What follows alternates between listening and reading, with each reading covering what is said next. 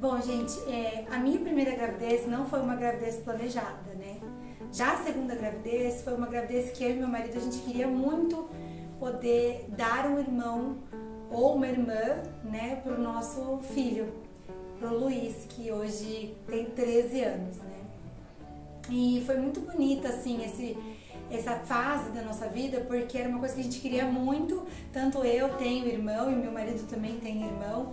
Então a gente queria proporcionar essa, esse elo, esse laço de amor que se cria, né, familiar, que se cria entre os irmãos. E a importância, né, que a gente, para esse laço mesmo que a gente desenvolve com essa pessoa tão próxima da gente, né. E eu engravidei do segundo filho, o Pedrinho, e, e o Luiz não me pedia irmãos, ele nunca me pediu irmãos, na época ele tinha é, dois aninhos quando eu engravidei do segundo filho.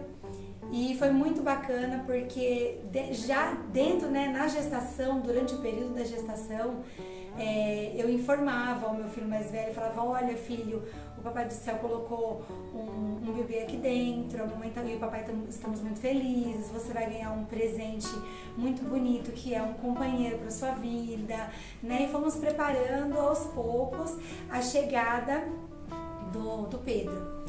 E o que foi mais incrível em tudo isso, né, é que a gente sentiu que o Luiz ficou muito feliz que ele iria ganhar um irmão. E, e no dia do nascimento do Pedrinho, é, foi muito legal também porque o, o Luiz é, ficou bem eufórico, né? Ele queria encontrar com o irmão de qualquer jeito. Então, logo que o Pedrinho nasceu, e esse encontro dos dois é, é algo que assim emociona mesmo qualquer pai, eu acredito, qualquer mãe é, que esteja ali presente, né, presenciando é, o irmão encontrar com o outro, né, com o bebê e, e foi muito bacana mesmo. Claro que sim, teve o ciúme, né, posterior, que por mais que a gente tente preparar, é, é, a, o bebê ele toma bastante tempo dos pais, né, ele é, ele é um serzinho mais delicado. E obviamente o Luiz não lembrava de quando ele era bebê, né? O que, que ele passou. Então, para amenizar isso também e criar um elo de relação muito bonito entre os dois, a gente mostrava muito vídeo pro Luiz dele na fase em que o Pedrinho se encontrava. Então, desde recém-nascido, com dois, três, quatro meses, a gente mostrava em vídeos, através de vídeos e imagens. Olha, Lulu, você quando tinha a mesma idade, olha o que a mamãe e o papai fazia com você também.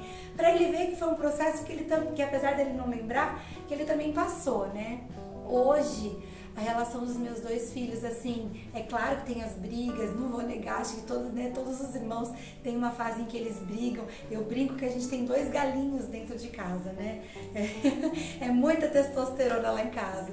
Mas é, é muito bonito de ver, porque hoje o Luiz com 13 anos e o Pedro com 9 o Luiz já entendendo muito mais né, sobre a diferença de idade, sobre as necessidades que o irmão tem e as dificuldades que o irmão tem, que às vezes são maiores do que a dele. E hoje eu vejo eles se ajudando muito, é, eles cuidando um do outro. Né? O Pedrinho desde sempre ah, ia comprar uma coisa no mercado ah, esse aqui é do meu irmão. Mamãe, vamos comprar para o Luiz também. Então, isso, essas lembranças, essas coisas né, que fazem a gente desenvolver esse elo tão importante entre os irmãos.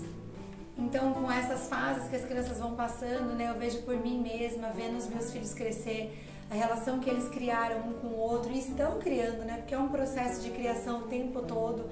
É, eu realmente desejo que eles conservem esse amor né, que existe entre os dois, essa relação de respeito, consanguínea né, que existem entre os dois, porque tem que ter sabedoria né, para a gente preservar todas as relações na nossa vida, inclusive a relação entre os irmãos. Então é o que eu desejo para todos os irmãos do Brasil, para o meu irmão, né, que realmente, para os irmãos que já foram, para os irmãos que estão aqui na Terra, é, que eu desejo que realmente todo mundo é, preserve essa relação que é tão bonita e tão uma experiência tão maravilhosa.